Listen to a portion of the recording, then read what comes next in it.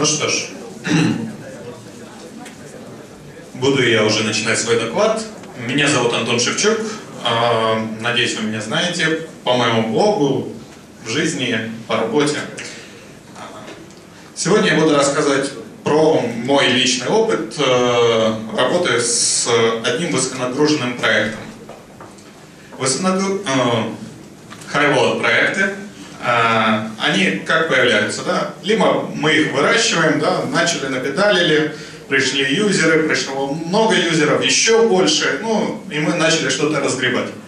Либо по-другому, в аутсорсе к нам приходит заказчик, и у него уже есть проект, который валится.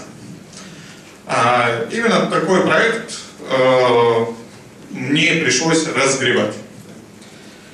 Что же там было? Было там, естественно, база данных страшненькая. А, хлебенькие сервера, которые не тянули нагрузку, дырявый код, ну и другие стандартные болячки legacy кода. Причем настолько, кстати, насчет дырявого кода, настолько он был дыряв, что его уязвимости можно было найти в гугле. То есть набиваем сайт, там, как взломать такой-то сайт. Вот, пожалуйста, вам список багов. Окей. Что было дальше? Э, первое решение, которое приходит на ум, это мы вот э, фиксим клипкие сервера. То есть мы отправляем наш, наши сервера в спортзал, говорим, теперь там будут крутиться серьезное, э, серьезное железо, ну и это временно фиксит проблему. Э, временно, поскольку железо оно такое, да, его много не бывает, а, и если код плохой, то новые-новые юзеры еще усугубляют ситуацию, и все опять падает. Окей, дальнейшее, что мы идем? Мы идем по пути оптимизации. Оптимизация занимает у нас очень много времени, заказчик не всегда понимает, за что он платит, поскольку это выглядит как? Мы пришли, неделю работаем, впахиваем, и в результате что? Сервера опять падают. А, то есть, что бы мы ни делали, они все равно упадут. Вопрос только времени. Да? Они упадут э, в 6 часов вечера или в 8 часов вечера. Результат один. Работы много. Поэтому было принято решение э, написания проекта с нуля. Ну, условно с нуля. Нам нужно поддерживать совместимость со старым, мы со старыми пользователями и получить новый новый, идеальный сайт, который будет летать и не будет возникать проблем. А, такая утопия началась. Такая утопия продлилась очень много времени. А, на слайде вы видите, сколько реально было потрачено часов на проект, сколько а, заняло bugfixing. Что я могу тут сказать? Э, ну, какой это объем проекта? Для кого как? Оцените. Большой, маленький, там, средненький. Я вчера на коленке писал. А? Сколько дней? Тысяча это часов в месяц? Тысяча часов. Это человека часов. А, да, это где-то я что-то очепятался, да? Секундочку. А, ладно, не буду уже править. В общем-то, э, тысяча часов э, да. Средненький проект. Да? Ну да, я согласен. Это, в принципе, средний проект. Э, и еще такие более-менее показатели. По бакфиксу, по количеству ищусов. А вот по бакфиксу это, это крутые показатели. Что, круто? А, тысяча проблем. Окей. А, но это не тысяча проблем, issues это у нас же и запрос на фичу, да, то есть, в принципе, ну вот... Если 500 багов, из которых 150, например, критикал... Не, это больше норма. Вы знаете, багов много было, как это... А, в действительности очень много багов, наверное, нужно было тут еще дописать. Около сотни, это, знаете, пофиксите транслейт. Просто сайт э, не русский и не английский, поэтому фиксить транслейт было немного сложновато. А, Google Translate очень часто не выручал скажем так. А, кстати, о самом проекте, к сожалению, я не смогу вам дать URL, чтобы вы на него посмотрели, пощупали. А, нет, сервера не лежат, но есть э, другие три буквы, которые вы, я думаю, знакомы, NDA, да? А, а, на свободе берите. Нет, мне не стыдно, а, но, к сожалению, не могу рассказать, что это за сайт. Буду так вот косвенно как-то затрагивать, что на этом сайте есть. А, Так. В общем-то, ну, еще где-то сотня багов, это именно баги с транслейтом, потому что, ну, не идеальный Google Translate. Да, это минорное, поэтому там написано 150 больше нормал. Ну, минорное, ну это где-то в нормал они попадали. Насколько я помню, они создавались как нормал. Что пользователи видят, пользователи возмущены, почему там не регистрация, а сохраниться, ну, в общем, такие нюансы были. Вот. Но о чем я буду рассказывать дальше. Собственно говоря, вот такая вот структура проекта стала после спортзала. А, Как вы видите, у нас пяток а, в в веб-кластере, немного мемкэша серверов, насколько я помню, они раскиданы по самому веб-кластеру, но могу ошибаться, я уже, к сожалению, не помню нюансов, поскольку все-таки админской частью я не занимался. MySQL, понятно, мастер своих. Читаем, пишем. Все логично, я думаю, ничего военного, это ни для кого ничего нового я не рассказал. Окей. Дальше. Небольшое произошло обновление софта. Естественно, ну, привязка у нас была одно время к старой версии, была намертво привязана к 5.2 и не хотела выше грейдиться, поскольку там был какой-то старый код, какой-то, в общем-то, очень много завязок и переезд на 5.3 даже не удавался. В результате переехали на 5.4, памяти полегчало, а, Nginx э, висит, обрабатывает статику, ну, все отлично. Конфиги, я думаю, приводить не стоит, я думаю, их очень много везде, и каждый с ними может познакомиться. Слишком много о них рассказано, чтобы я что-то добавил нового. Окей. Что же я добавил? А, ну, во-первых, кэширование. Да? Кэширование – основной инструмент для high проектов. Мы кэшируем что? Обращение к базе данных, а, HTML-файлики. Мы практически все, что угодно, все, что нам не нравится, можем закэшировать. Много обращений к файловой, файловой системе. А, тоже, пожалуйста, вот кэшик, вот мы собрали, все положили, все отличненько. А, но memcache еще для каких-то вычисляемых данных тоже использовался. А, Это понятно, да? Чуть-чуть я поподробнее еще остановлюсь на каждом из них, ну а пока продолжим. А, что же я сделал? Ну, господи, что это за слайд? А, собственно говоря, это описание кэширования для гостей.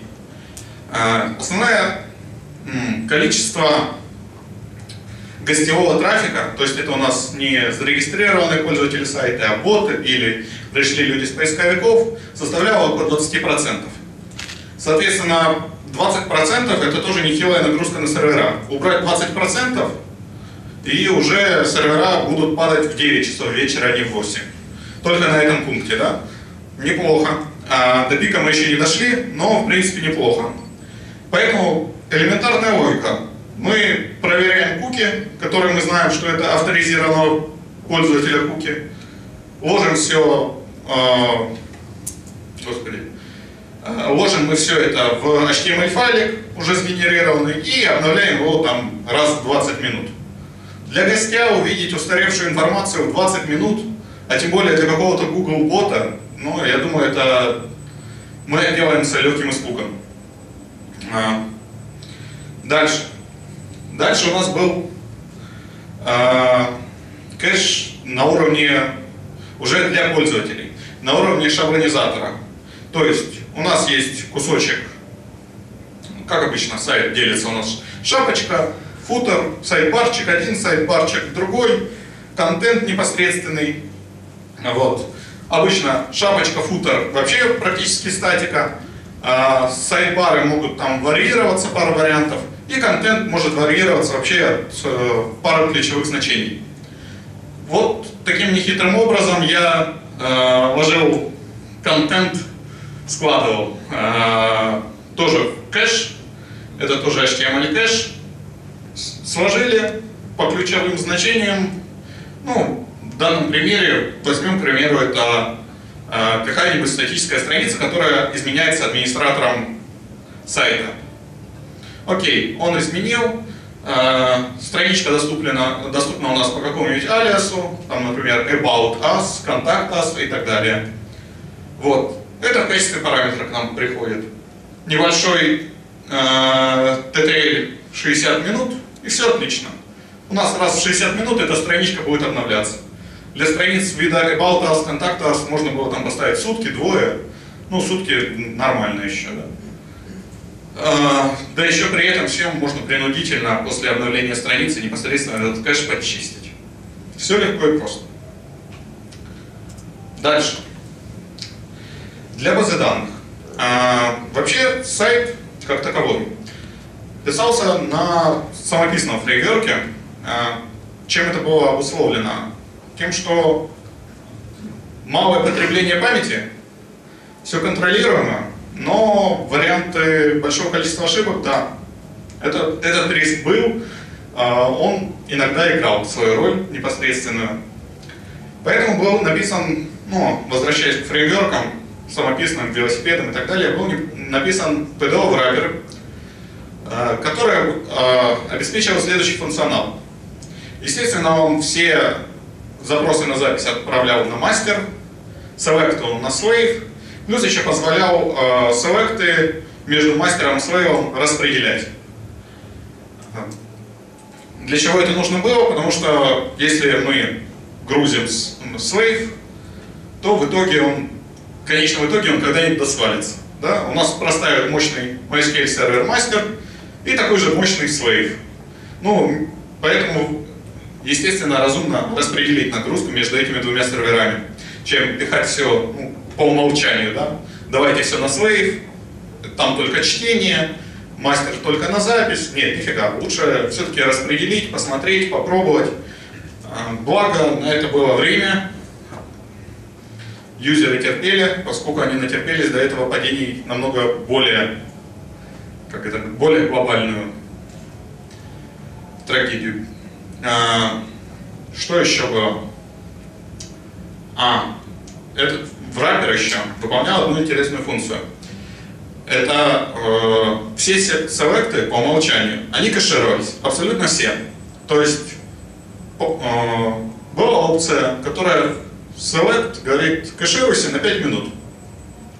Что это делало? Что это нам позволяло? Ну, во-первых, мы собрали кучу багов, когда у нас что-то попадало в кэш и не успевало обновляться, да, юзеры там били в колокол, я вот там имя обновил, а оно там через 5 минут только появилось. Но э, таким образом очень быстро э, получилось вторую версию завести, что, ну как это, это было необходимо, жизненно необходимо для проекта, завести вторую версию. Так, это уже потолок трусится. Отлично. Так что вот таким нехитрым способом лучше мы потерпим пользователя, который будет говорить, что у нас проблемы, и будем там потихоньку тюнить, чем изначально дадим большую нагрузку, и потом уже будем это внедрять на, опосля. Так, ну, что у нас еще было? Что еще? А, изгнали сессию. Session Start больше не использовался. Оказалось выгодней использовать, знаете, э, использовать куки, реализовать свою идентификацию по кукам, чем использовать Session Start, где, попало, где попало. Так все было вроде управляемо и использовался фактически memcache для этого. Ну, я, я прекрасно знаю, что у нас есть возможность э, установить хендлер для сохранения сессии как memcache, но был один печальный опыт, когда у нас с кэшем что-то случалось, а, получалось, пользователь получал не свою сессию. Каким образом это произошло, я, если честно, до сих пор не знаю, но быстренько реализовал свою э, как это, идентификацию пользователей, и получилось намного быстрее и более управляемо и предсказуемо. То есть в этот момент я уже знаю, там, мемкэш, если отвалился, то я могу сказать до свидания или отдать еще что-то, а не привет э, поймать, когда кто-то стал вдруг админом на сайте. Э, очень нехороший такой опыт был. Дальше. Ну, собственно говоря, это вот картиночка со статистикой мемкэш серверов. Так, что мы? Всем видно или озвучить? Озвучить. Окей.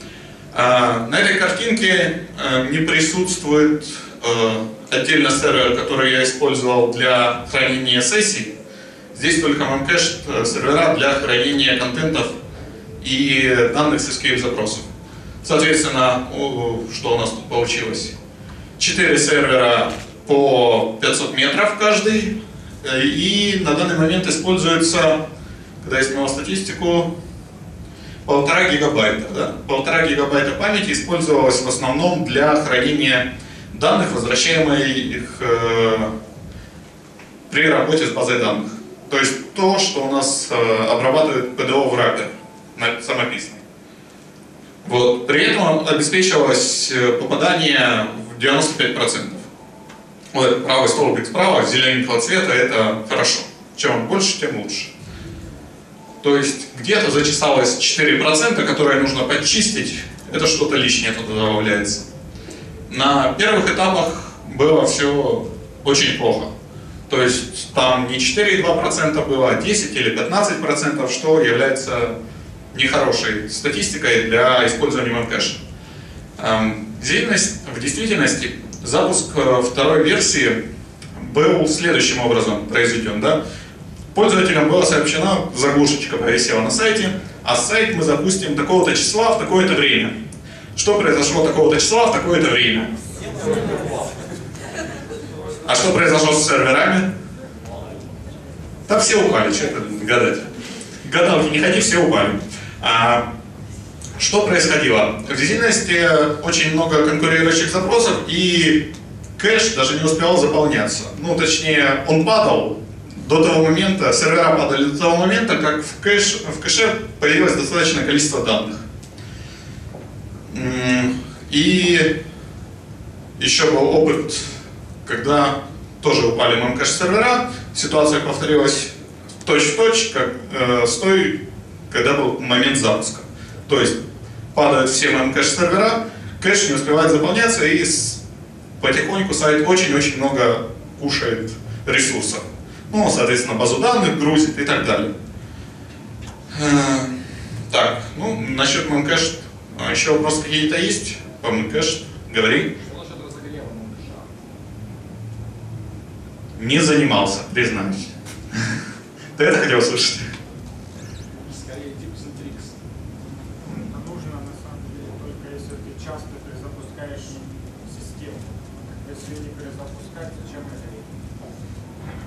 действительности можно, ну, поскольку у нас 4 э, сервера, то по факту, ну, если какие-то проблемы возникают, или мы понимаем, что в моем кэше что-то очень плохое, то мы по очереди их можем перегрузить. Собственно говоря, нагрузка, ну, как видишь, тут используется ровно три четверти памяти, выделенные на всех, то есть один сервер фактически резервный, да, мы его чистим, нагрузка немного растет на базу данных, но в принципе можно по очереди их профлошить. Давай. У вас, э, говорите, падают сервера, как у вас QA, они как-то нагрузочное тестирование проводили или это не было? А, ну, да, я повторю вопрос. Э, первый вопрос был насчет QA. А второй вопрос, ну, насчет, что же делали наши QA и почему они вот здесь вот э, не участвовали. А, давайте. И второй вопрос насчет э, предварительного заполнения кэша. А, Скажем так, на сайте, давайте так по очереди. Насчет QA я отвечу очень быстро. Это э, этот сайт разрабатывала не компания, в которой я работаю. Это я сижу там на выходных, иногда подпедаливаю, потому что я люблю педалить. Так что из QA там был я, админ, э, ну и все, пожалуй.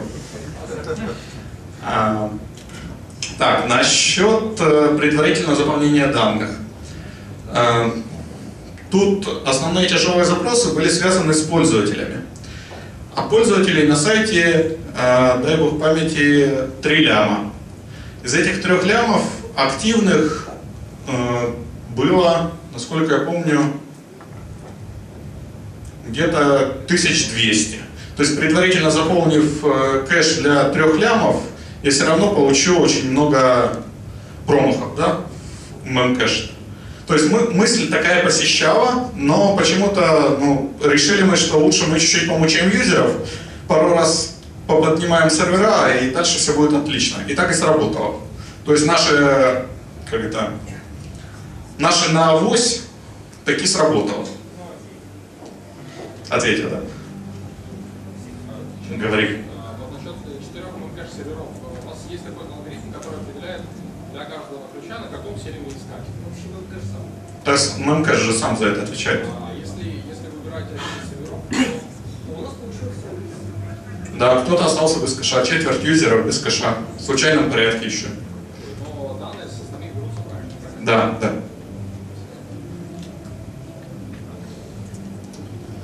Окей. Был еще следующий момент. Это полнотекстовый поиск. Страшно, как смотрится, а? А, окей, э, MySQL, полнотекстовый поиск неплохо работает. Э, был поиск э, по 200, 200 тысяч записей с текстом, да, грубо говоря, это были статьи, 200 тысяч записей. Под ним был полнотекстовый поиск, естественно, он немножко напрягал систему. В результате был выбран Sphinx, и он тебе там небольшим текстом приписал, что Pickle Extension лучше вообще не использовать. Забудьте про него. Sphinx был подключен как Sphinx API.php, и таким образом была работа. Э, Экстеншн для мускуля не использовался. Почему? Потому что не было времени даже протестировать. Перебилдить мускуль, ну, под него. Так, еще вопросы есть по Sphinx? Или тут и так все? на, отдельную. Да, Sphinx он такой, он большой, большой, страшный. Но вы его не бойтесь. В действительности его настраивать очень легко. Да. А я с ним работал до этого. Как часто дельта-миграция происходит? На больших объемах? А, Объем у вас? 200 тысяч это небольшой объем, я тебе скажу. Поэтому он ребилдит индекс, э, полностью ребилдит за минуту. Еще вопрос, а почему не Sphinx QA сразу? Вот как-то не срослось сразу, это было год назад или полтора года назад. Вот. Почему-то тогда не срослось. Я не могу сейчас вспомнить историю наших э, с ним взаимоотношений, но вот на тот момент не срослось. Возможно, да, сейчас бы я уже Sphinx QA использовал. Так, ладно, следующий слайд. О, на сайте был форум. Форум PHP-VB, вторая веточка. А, из всего функционала PHP-VB там использовались только, как это, эксплойты, да? Вот я нагулил, какая версия там PHP-VB, залил туда эксплойт. Отличненько, я тут пошаманю чуть-чуть. Это использовалось постоянно. Мало того, в этот PHP-VB кто-то умудрился немножко залезть. Поэтому это добавляло проблем еще и с обновлениями и исправлениями. В результате была выбрана альтернатива в виде Vanilla Forum. Почему? Тут э, кто занимался интеграцией PHP-VB в свой сайт, когда у вас есть общие юзеры? Так, так, раз, два, три. Маловато. А, могу сказать, что всем остальным еще повезло. Да? А, то меньшинство, которое подняло руку, наверное, со мной согласится. Проблема PHP возможностей в том, что он требует создания, ну, насколько я помню, он требовал создания юзера. То есть вы представляете, да, я регистрирую пользователя на сайте и одновременно регистрирую пользователя на форуме. Как, как вы думаете, сколько было пользователей на форуме э, активных, реально активных? Ну, точнее так, э, после переезда сколько там в ваниле оказалось пользователей? А сколько ботов? Одна десятая часть. А? Десят... Я думаю, примерно одна десятая. Одна десятая? Полпроцента. От трех лямов полпроцента. От актив. Одна десятая. Ну, 30 тысяч из трех лимонов. 30 тысяч активных пользователей было. Ну, где-то тысяча и переехала.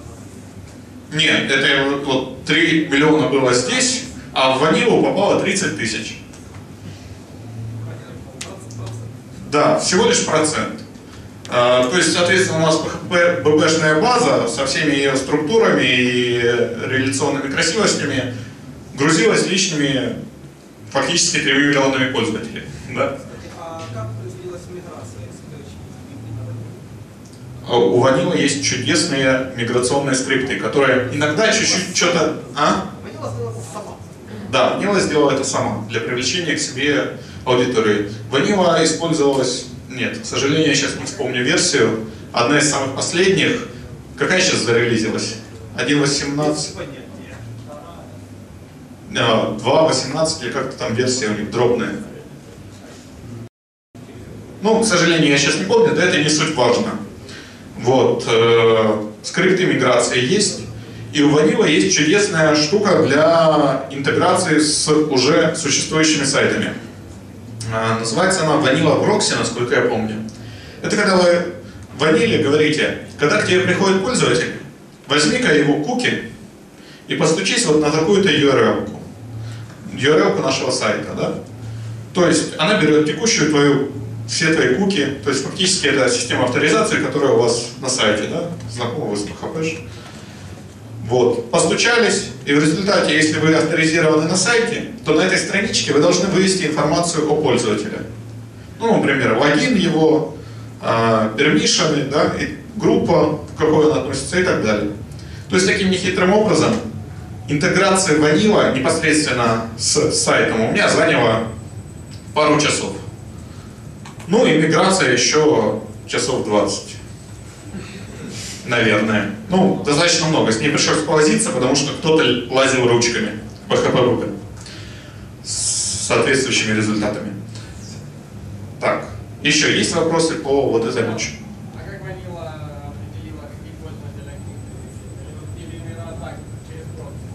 А, это вот те 20 часов, которые я потратил, да? А, я просто прибил в PHP я прибил юзеров, у которых нет ни топиков, ни месседжей, вообще никаких активностей, признаков активности. То есть я их прибил, и все отлично получилось. Осталось там 30 тысяч, ну на данный момент, насколько я помню, там около 60 тысяч регистраций на форуме. Но большинство это зашли, написали одно сообщение, а как тут сделать то-то и ушли с форума. Вот. Пошли читать папки. А, хорошо. Еще вопросы? По ваниле? А новые пользователи продолжали попадать на ваниль, которые на сайте регистрировались? Э, Конечно. То есть э, система вот этого Vanilla Proxy, э, она, если видит вот на этой страничке, на которой вы отправляете ее, если она видит логин, пароль, ну, логин, информацию о юзере, она тут же регистрирует его у себя в системе.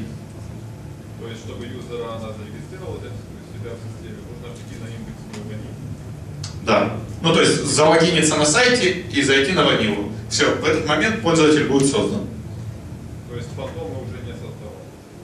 Как было. Ну, фантомы создавались, если человек зашел на форум, почитал его и ушел. Это фантом создавался. То есть 60 тысяч, да, там. Но это не 3 миллиона. Окей. Ой. Был чат. Я не помню, какая система использовалась. Первая моя мысль была переписать чат, чат на ноду.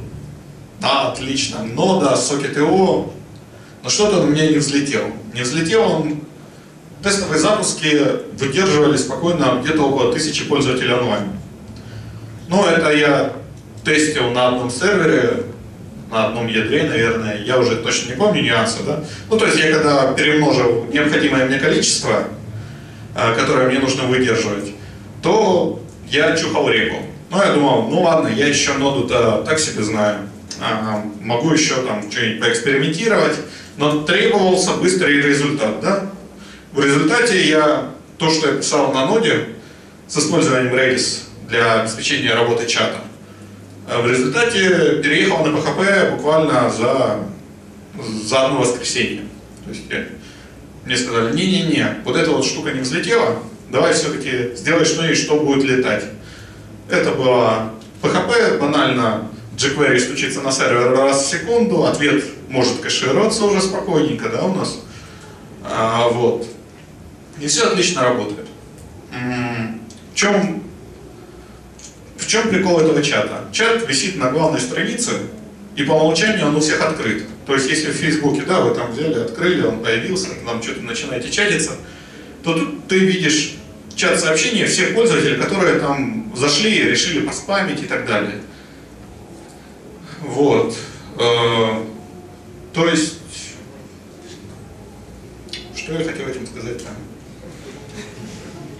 Ну, Redis с PHP тоже отлично работает. Простая связка PHP, JavaScript и Redis обеспечивает работу чата для большого количества пользователей. Вот. Вопросики есть. Смотри, а ты в ноте использовал же message channels и PubSub, да, рассылки сообщений по Да. каналам. А в PHP, в таком случае, зачем тебе PubSub и Redis, если ты все равно jQuery стучишь и забираешь все последние сообщения из канала? А, Redis обеспечивает быструю работу с сообщениями. Мне нужен был, ну, получается, это работа со списками, да? Ну, теоретически. Ну, скорее всего, со словарями, если ты еще к сообщению там какой-то user ID клеишь. М, И это, наверное, тоже таймстемп. Ну, ну, а получалось быстрее. И очень удобно в Redis потом ее подчищать, потому что в чате мне не нужна история сообщений больше, чем там тысяча примерно. Ну, то есть, а?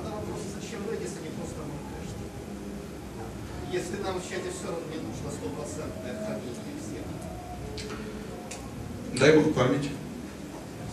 Не знаю, я не могу ответить на этот вопрос. Это, наверное, мое желание было поэкспериментировать с чем-нибудь интересным. Принимается.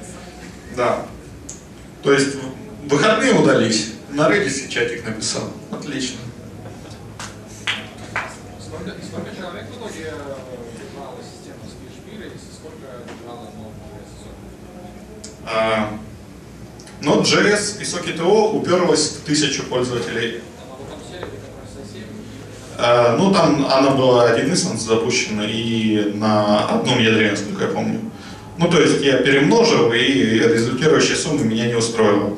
В действительности это не, ну, я, возможно, бы стал дальше решать эти проблемы с нодой, но на тот момент Socket.io была версия 0.7, а, не помню, одна из последних семерок. И когда приходит к тебе модератор, ну, не самый главный, как это говорят, Хуга Босс, да, а модераторы приходят и говорят, вы знаете, у меня чат не работает, а у что за система? Он говорит, Ubuntu такая-то, Firefox такой-то старенький, там, 3, что-то там. Говорит, не работает.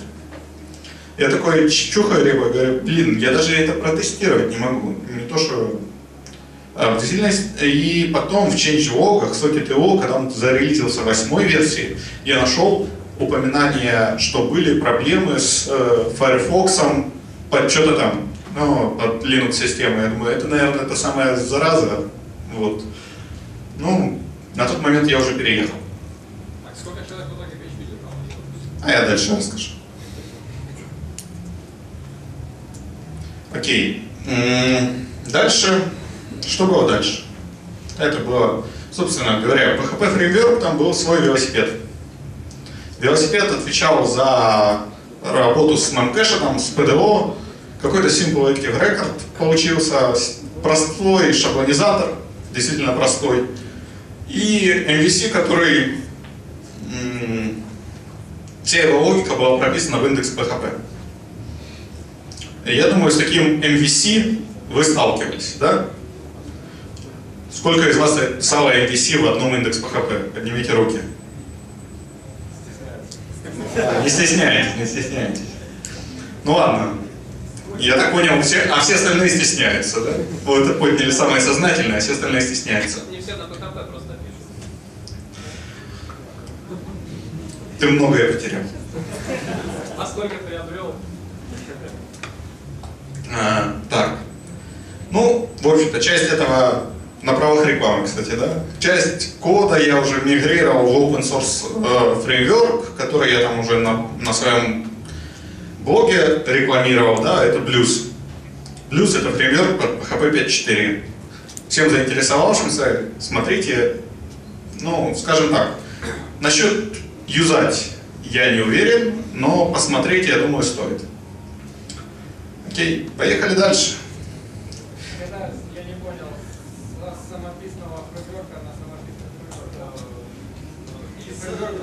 Какой-то.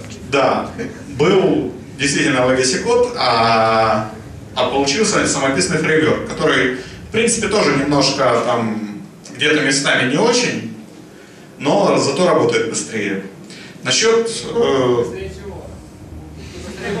да, быстрее legacy кода, да. Ну, я, мы помыслы об использовании готовых фреймворков типа Zen фреймворка я отбрасывал сразу. Поскольку сравнивать, страничка у меня грузится и кушает 300 килобайт памяти и грузится там за сотые доли секунды или за тысячные, и Zen фреймворк, который Hello World мне выводит за 4 метра памяти и... э, Все. А? Все, что упирается. Очень. Ну, Кстати, вопрос, касающийся фреймворка, использование кэширования PHP кода какой-нибудь ABS и так далее. Использовался? АПЦшка, по-моему, прикручена, но активно не юзалась. Всё упиралось в файлов.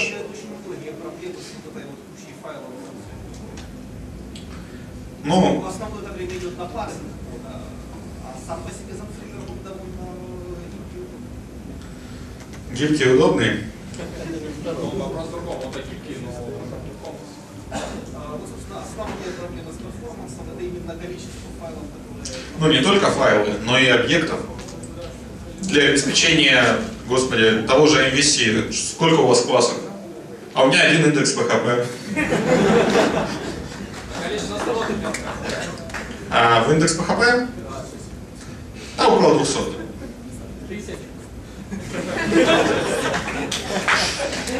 Да. Я об этом не написал за тысячу часов.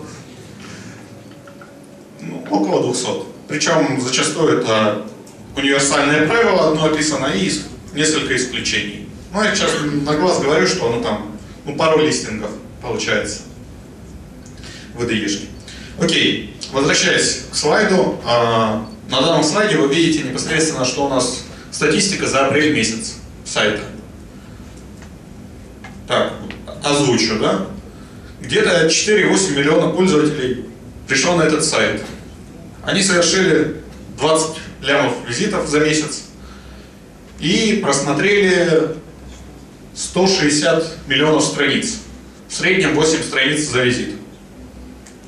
Ну, такая, я не знаю. Для меня лично это крутой показатель. А? Да, интересно. Для определенного контингента. Чем вы подумали? Нет, это не такой сайт. А, Вот, собственно говоря, производительность. А, так, что это за тулза? Кто мне скажет? А, это очередная самописная, возможно. А, загрузка по серверам. Ну, это график загрузки. Я сейчас циферки увеличу. Насколько я помню, я их увеличил. О, я их увеличил. А, отлично. Вот, собственно говоря, средняя нагрузка на сайт Legacy код, свой велосипед. Так. Профит ощутим, да? Да. Я рад. Я горд собой. Еще раз. Макс 520, правильно? А, Да, да, да, да. 520 лет. И не такой по вечерам смотрит, понимаешь? А это уже непосредственно статистика с админки сайта. Это регистрации на сайте. То есть в среднем, да, раньше у нас приходило 2000 коллег регистрировалось на сайте в сутки. А, господи, что это такое? А, ну, вы видите, да?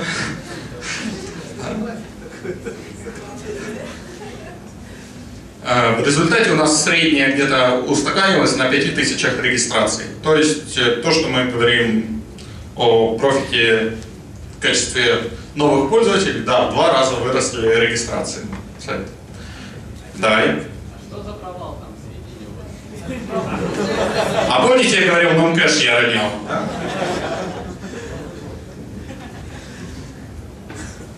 да? Кстати, это где-то в- районе Нового года. Или Рождества.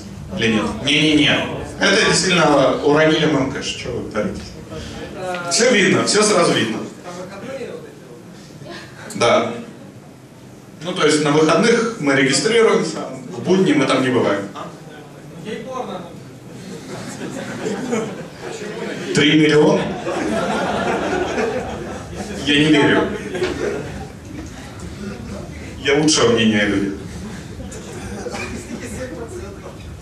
Ладно, а вот это вот показание о том, сколько человек профит онлайн по вечерам, да, вот это 11 часов вечера.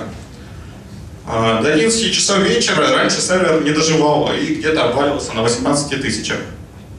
Это его был предел даже на том железе, которое я описывал. На данный момент э, пиковая онлайн-статистика э, зависла на 38 тысячах.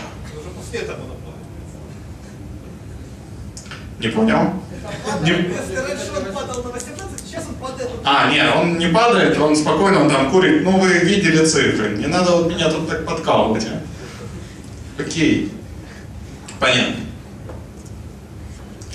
Что для меня? Для меня не по- это experience, с которым ну, не часто сталкиваешься даже на работе. А, Когда у тебя сайт, который висит там в, топ 2000 по alexa.com, это, собственно говоря, немножко, как это, поднимает твое самомнение о себе, да, как будто в спортзал сходил, да, но только такой вот девелоперский спортзал. Вот. Что еще я хочу сказать? Я хочу сказать, что если вы знаете PHP, хотя бы недели-две, то в принципе ваш э, Hello World выдержит очень большие нагрузки. А, Могу сказать, PHP действительно быстрый. А, PHP можно достаточно легко масштабировать, он будет а, предсказуем. У него вот такая вот замечательная штука, он предсказуем, да? Если мы видим, что начали процессы виснуть, то они будут виснуть и здесь, и там, и завтра, и послезавтра. Это предсказуемо. А, Код, насчет кода, я вот, если открывать холивар насчет фреймворков, насчет тяжелых фреймворков, там, ZF, Symfony, что я еще не назвал?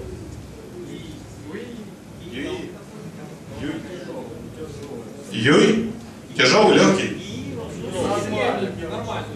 Средненький. А качество кода как вам? Вполне хорошее. Когда там один из самых слушает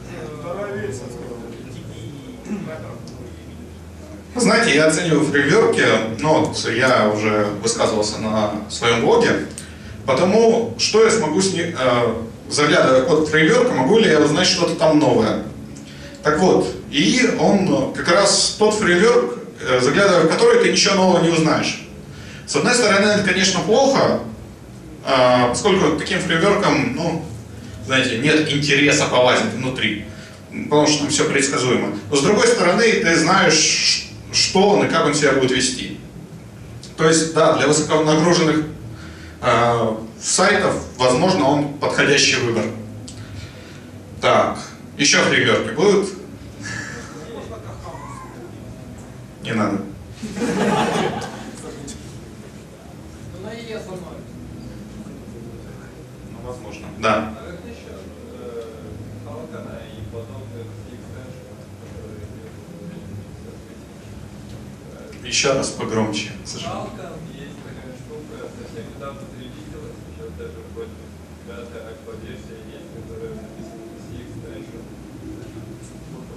А, PHP экстеншены, типа. э, Какой вопрос? в чем да, вопрос? Ну. А, я понял. Highload сайт фактически на SEP, да?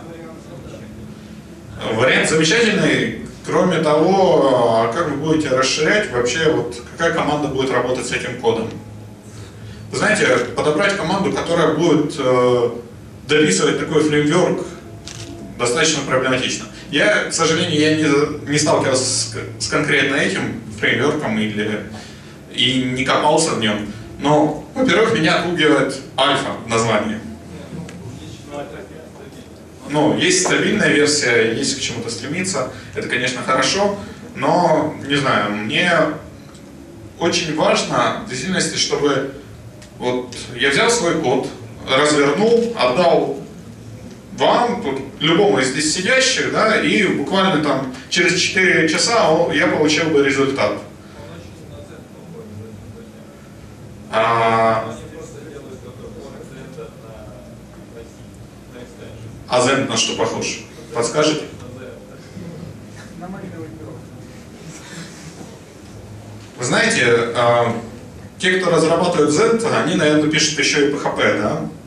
А, Я вообще, вот когда выбирал, а, да, я когда в своем отделе как-то проповедовал Zen Framework, я акцентировал внимание на то, что вот зендовцы, они такие, «М, нам неудобно делать диспетчеризацию, давайте мы сделаем GoTo.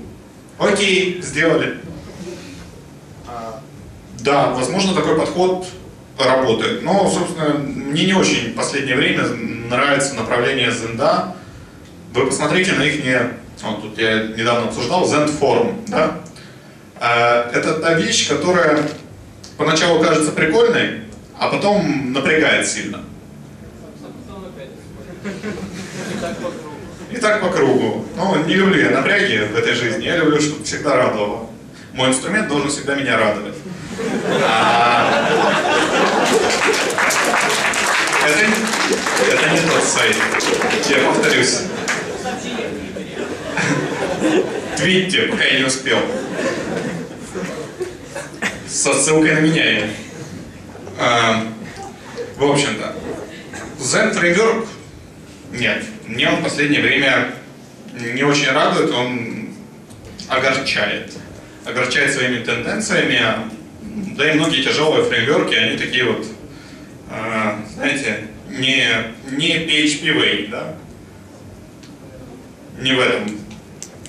Мне вообще PHP нравится, пыха, пыха, PHP, PHP, кто как называет? Какой ужас.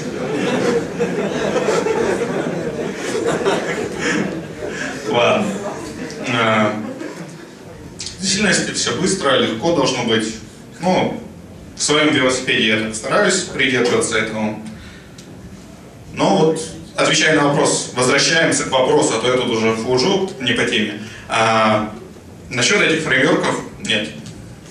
Пока нет. Пока не будет этот фреймворк от э, Zend, от Zend, пока они не скажут, вот мы, пророки PHP, мы сделали вам PHP версии 6.0, мы вам сделали тут же фреймворк, который вы должны пользоваться из коробки. Тогда да. А пока это они там по два года закрывают ищусы, которые заводит Макс. Макс. Э, Вот. эм, Нет. Вообще очень бы хотелось, чтобы был вот такой вот из коробочки. Еще вопросики? Давай. Почему FM они встроены для 4 сервера? А ты его тестил под нагрузочкой? И что он говорит? Отлично, попробуем, что? Надо будет попробовать. Не пробовал, если честно. По поводу по поводу попробовать, еще попробуешь э, написать какую-нибудь вещь в темплейте, которая использует ESI. Варниш есть? Был.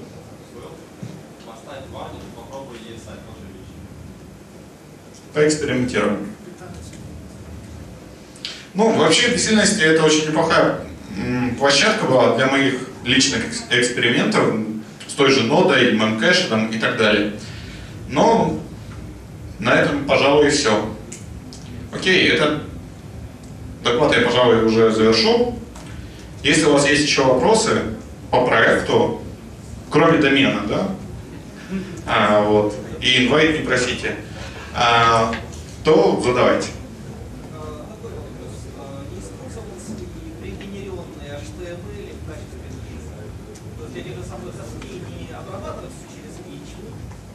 И отдавать закэшированные в кэш страницы, а генерить просто файлик и отдавать его сразу же. А в Nginx просто настроить, где лежит кэш. Ты это имеешь?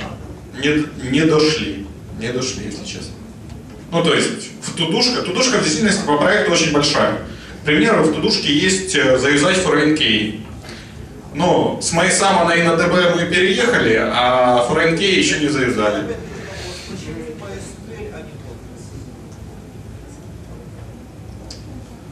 а Если уже как бы на ForeignKey и так далее, наше все. Ты знаешь, на текущий момент хоть фронтенд весь и переехал, там еще есть пачка кронов, которые я даже не прикасался. Вот, э, ну и реальный, как это, профита от Postgre на данный момент я не увижу, если честно. Нагрузка на сервер сейчас MySQL справляется на ура.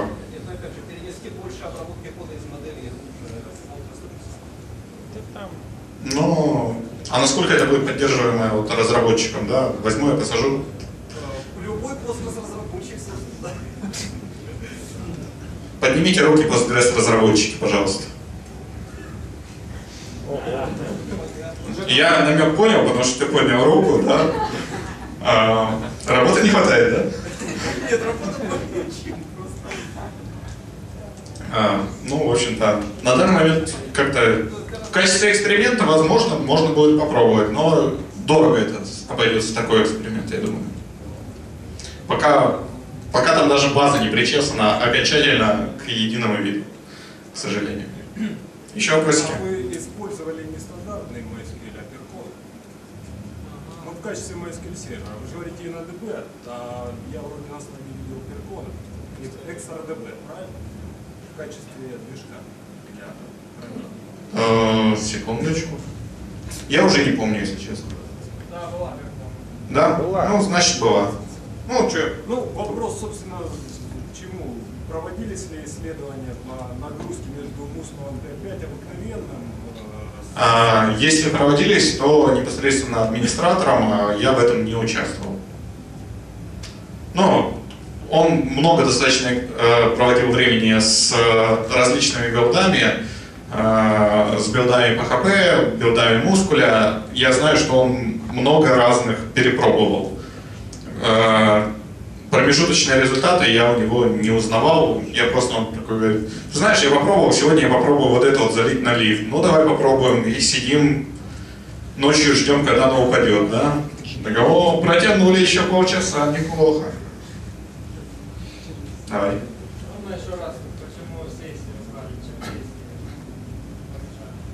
Ага.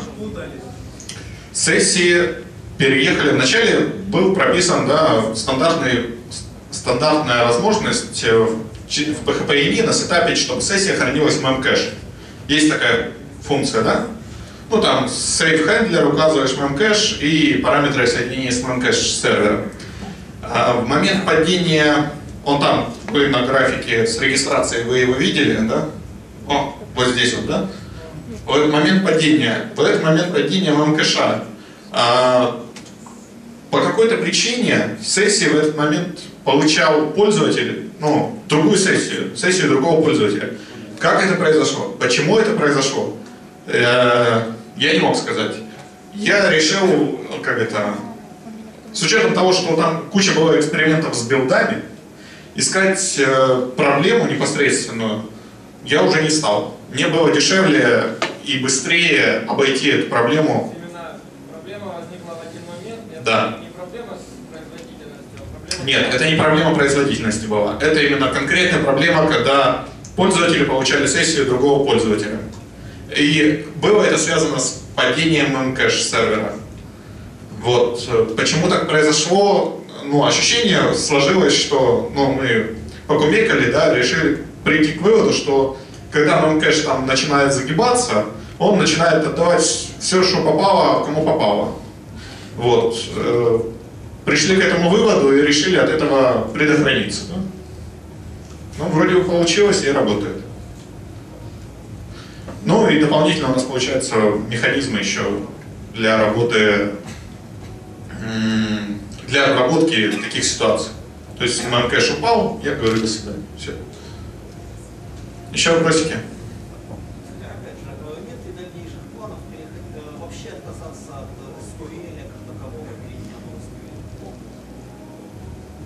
Тот же самый Redis.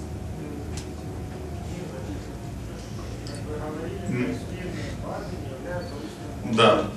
Собственно говоря, MySQL не является узким местом, но, знаете, вот моя, э, как это, любовь к экспериментам, да, я, конечно, там где-то кауч потискал, где-то Redis завязал, а, но в данном проекте NoSQL, я думаю, не подойдет. Ну или это усложнит систему, чтобы ее будет сложно будет поддерживать, более сложно. Ну, а с учетом того, что действительно MySQL сейчас не узкое место, необходимости не вижу. Кстати, опять-таки такой вопрос, э, как изменилась оценка? А? Знаешь, чем мерили вначале? Вот топ запускаешь, да, и смотришь там, что у нас там сверху, вот, да. Это первая мерилка. Вот когда мы там что-то добились, чтобы у нас хотя бы э, консоль отзывалась, когда нагрузка большая, а, да, чтобы можно было топ запустить, это уже был прогресс. Узкие места, а, насколько я помню, на сервере временно включалось э, профилирование баз данных, да, у Мускуля есть такая штука, когда он там за 5 минут тебе 5 гиг пришлет логов. Вот. э, это поначалу помогало. Ну, то есть, это первоначально. У нас в начале было достаточно узкое место базы данных. Сейчас она там отдыхает.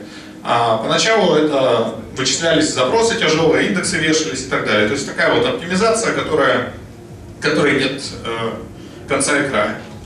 Вот она проводилась таким образом, да, там зашли, ну, зашли в логи, посмотрели, что там больше секунды выполняется, надо фиксить. Ну или что больше 10 секунд выполняется, ну там разные были э, пределы. Вот, вот таким образом. Э, Специальных тулзов, э, сейчас я вспомню, что-то последнее время пытался прикрутить. Нет, наверное, сейчас только профайлер висит XDebugовский и все. Да. А размерчик базы в записях и гигабайтов М, Гигабайтов я не вспомню, могу сказать так. Юзеров там 3 миллиона записей, да, там соответствующих таблиц с настройками еще 3 миллиона. Э, контент, который они генерят, э, это, наверное, 200 тысяч. И таблицы связей с и перелинковок, там есть атачи и так далее. Там еще где-то 10 миллионов. Ну, то есть на таких цифрах MySQL вполне справляется, если аккуратно и, и со свинксом. Еще вопросы? А где вопрос, где автопатия? Это, это просто подразумевается, никто даже не спрашивает. Вы что, хотите туда сходить, да? Не-не-не-не. Ну, ладненько. А, на этом, я, наверное, мы закончим. Так, где мой последний? Слайд, слайд, слайд, слайд. О, спасибо за внимание. А,